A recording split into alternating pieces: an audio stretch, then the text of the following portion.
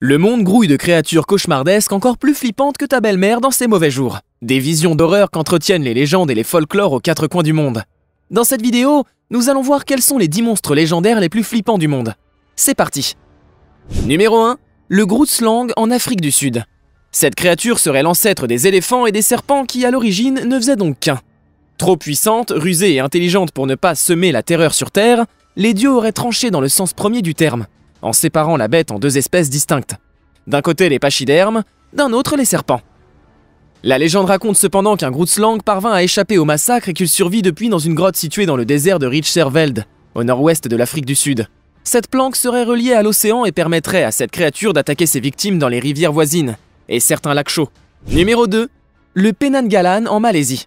À ne pas confondre avec le pangolin, autre créature tristement entrée dans la légende, le Penangalan, qui signifie qui se détache en malais, est une saloperie qui ressemble à un vampire mais juste avec une tête. Détachée du reste du corps, elle flotterait dans les airs avec ses viscères filandreux, pendouillant au vent en quête de jeunes enfants ou de femmes enceintes à dévorer. Après chaque festin, le Penangalan retournerait dans sa tombe pour y retrouver sa moitié, le reste de son corps donc, moment où la créature serait la plus vulnérable. Numéro 3. Le Diao Sigui en Chine. Le Diao Sigui est une des créatures les plus connues du bestiaire de monstres dans le folklore chinois. Ces fantômes apparaissent aux humains sous forme de pendus flottants dans les airs, la langue tirée jusqu'au nombril, à l'endroit même où elles se sont pendues jadis. Selon les versions, ces créatures peuvent poursuivre leur proie pendant des jours pour les convaincre de se suicider. Mais d'autres légendes racontent qu'il suffit de croiser leur regard pour vouloir finir au bout d'une corde. Numéro 4. Le Nazula Falaya dans le sud-est des États-Unis. Les Indiens d'Amérique étaient tellement proches de la nature qu'ils y voyaient parfois des créatures sorties tout droit de leur pire cauchemar comme cette bestiole mi-homme, mi-loup, femme vampire issue du folklore arabe. Cette créature squattait les forêts pour s'attaquer aux chasseurs de la tribu Cocteau et leur injecter le seum, qui les poussait à commettre des actes mauvais. Numéro 5, le gacha d'Okuro au Japon. Un squelette géant qui se jette sur vous pour vous mordiller le crâne et vous faire un méga suçon Ne cherchez pas. Il s'agit sans doute d'un gacha d'Okuro, en quête de sa dose de sang. Ce démon japonais de dix fois la taille d'un humain serait composé à partir des ossements des victimes des famines. Ou de corps de soldats abandonnés sur les champs de bataille. Bref, une sale histoire. Numéro 6. Le Yarama Yahoo en Australie. Vous voyez à quoi ressemble une tique? Eh bien, le Yarama Yahoo est grosso modo sa version aborigène XXL. Une belle saloperie d'un mètre vingt environ qui s'accroche aux arbres pour se jeter sur les passants et leur pomper le sang avec ses griffes, puisqu'elle n'a pas de dents.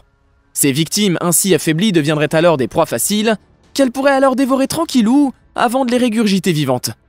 Seule trace de ces attaques éclairs, les survivants seraient légèrement plus petits qu'avant et surtout avec la peau toute rouge. Numéro 7. L'itin moment au Japon. Il n'y a sans doute pas de mort plus ridicule que celle qui survient après avoir été attaqué par un rouleau de papier volant qui s'enroulait autour de votre tête pour vous étouffer. Ce prédateur existe bel et bien dans la mythologie japonaise et sévirait sur l'île de Kyushu lieu de naissance de la civilisation japonaise. Elle aurait même inspiré le Moremplis de Harry Potter. Numéro 8. Le Dualan en Irlande. Ces fées solidaires se baladeraient le plus souvent à cheval avec leur tête sous le bras, fouettant leur monture à l'aide d'une colonne vertébrale humaine. Il leur arrive également de se déplacer en carriole, également faite d'ossements. Chacun de leurs arrêts signifierait l'arrêt de mort de l'humain le plus proche. Selon certaines rumeurs, les Dualan auraient au passage largement inspiré la créature de Tim Burton dans Sleepy Hollow. Numéro 9. La Siguapa, en République dominicaine. Une femme magnifique avec une longue chevelure qui apparaît nue la nuit dans les forêts de montagne dominicaines pour inviter des inconnus à faire l'amour avant de les tuer. On est certes plus proche du scénario de série Z que de la créature mythologique.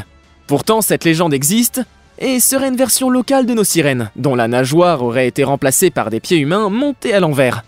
Numéro 10. Anako-san au Japon. Personnage récurrent de la culture urbaine japonaise, Anako-san désigne l'esprit d'une jeune fille qui entrait les toilettes des écoles.